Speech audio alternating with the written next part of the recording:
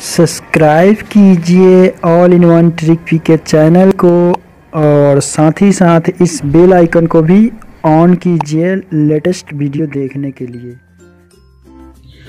Hello and welcome दोस्तों, स्वागत है आपका आपके और हमारे channel all in one trick picking तो दोस्तों, आज के वीडियो में बताने वाले कि आप केनरा बैंक या स्टेट बैंक का एक ही मतलब मतलब एक सेकेंड में आप कैसे चेक कर सकते हैं कि उसमें कितना बैलेंस है आपके खाते में।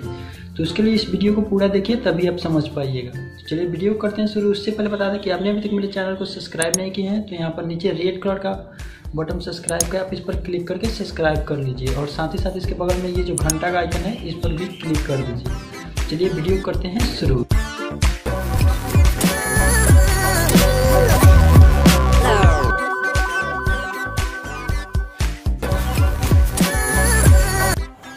तो दोस्तों, हम मोबाइल स्क्रीन पर आ चुके हैं और आपको मतलब बता दें कि जो मतलब आपका नंबर रजिस्टर होगा बैंक में, उसी नंबर से आपको मिस कॉल देना है। तो चलिए हम बता देते हैं आपको नंबर कौन सा है। जैसे कैनरा बैंक का अभी मेरे पास नंबर है। दोनों नंबर हम आपको डिस्क्रिप्शन में दे देंगे। आप डिस्क्रिप्शन से नंबर ले लीजिएगा, नहीं तो आपको नंबर हम दिखा भी देते हैं। आप नंबर देख लीजिए, यही नंबर है।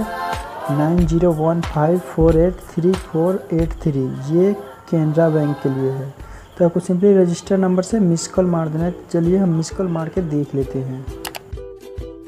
जैसे कि दोस्तों हम कॉल लगा दिए हैं, आप देख सकते हैं यहाँ पर, वो ऑटोमेटिक होकर कट जाएगा।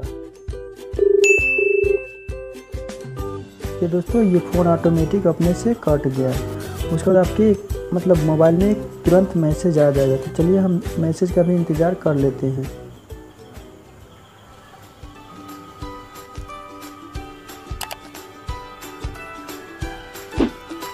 दोस्तों, ऐसा ही मतलब प्रोसेस आपको सिंपली स्टेट बैंक में ही करना है। आपका नंबर रजिस्टर होना चाहिए, तभी बताएगा दोस्तों।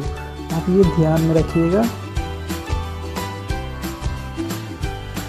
दोस्तों, आप देख सकते हैं मैसेज आ चुका है मेरे मोबाइल में। आप सिंपली मैसेज खोल के आप चेक कर लीजिएगा। आपके अकाउंट में मतलब जितना पैसा होगा, आपको यहाँ से दिखाई दे देगा। तो जैसे देख सकते हैं, ये मेरा अवेलेबल बैलेंस नीचे दिखाई दे रहा है। हम इसे हाइड कर दिए हैं।